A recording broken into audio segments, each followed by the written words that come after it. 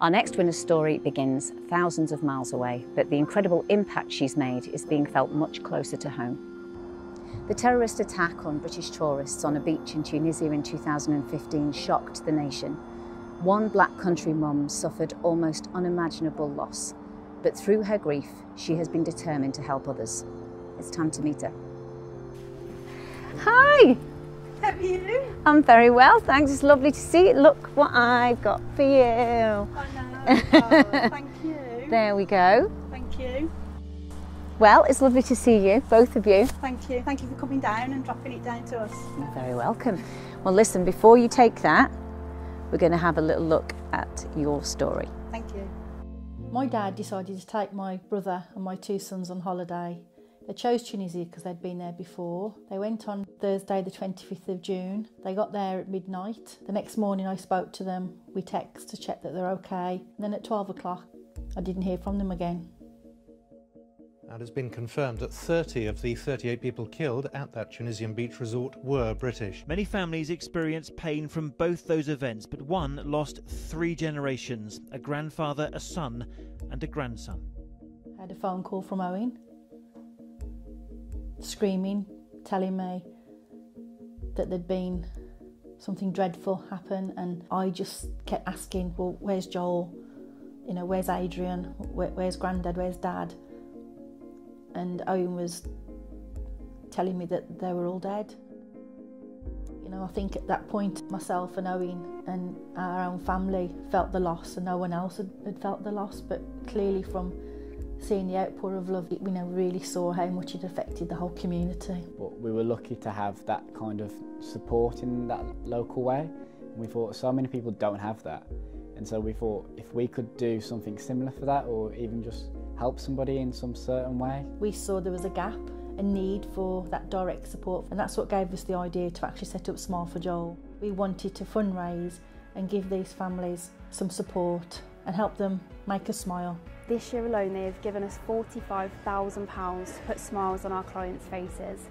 These can be things such as spa breaks, holidays, weekends away places, even household appliances, so fridges and white goods and things like that that the families need and they're unable to afford themselves. We've helped over 1,500 family members that have been affected by murder. We get lots of thank you cards, thank you letters, private messages, which really makes us feel it's all worth it.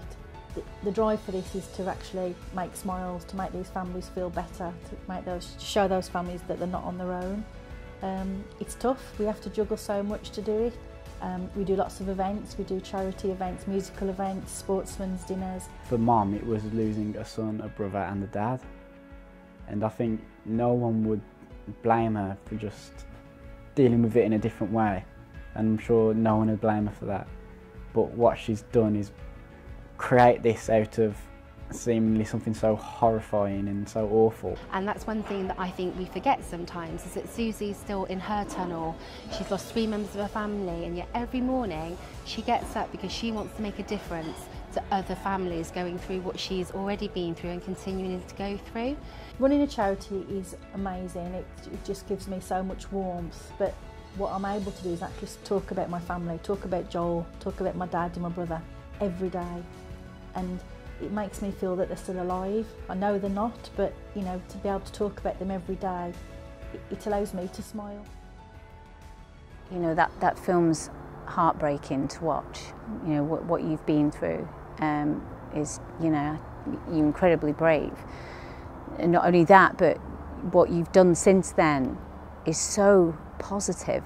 It's, it's impossible not to feel inspired by you. Thank you, thank you. There, there were three amazing guys, and, and if I can just carry on telling the world just how amazing they were, then it, it's what it's all about, and making a difference for them. You know, they should be here, and they're not, and you know, but they're here, hit my heart, and the charity just lives for them.